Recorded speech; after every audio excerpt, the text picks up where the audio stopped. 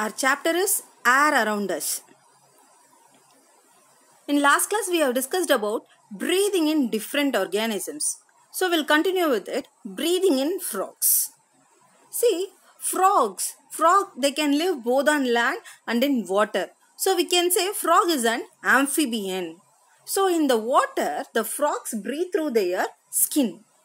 On land, they'll breathe with the help of their lungs. Breathing in insects. Say insects like cockroach and grasshopper, how they'll breathe.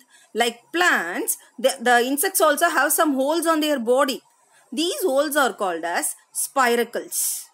In their body, a network of tubes will be there. Through those tubes only air will be distributed entirely through the body.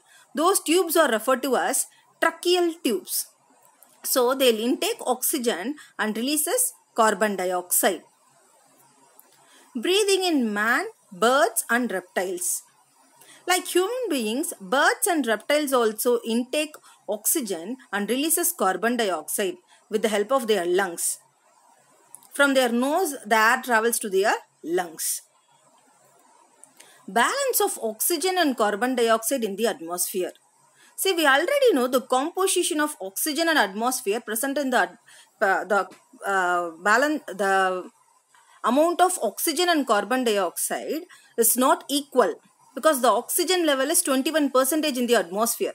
The carbon dioxide level is less than 1 percentage. So how it is balanced? They are balanced through respiration in plants and animals and also by photosynthesis in plants. Answer the following. How does a frog breathe when it is in water? Which is the breathing organ of cockroach? How is oxygen and carbon dioxide balanced in the atmosphere?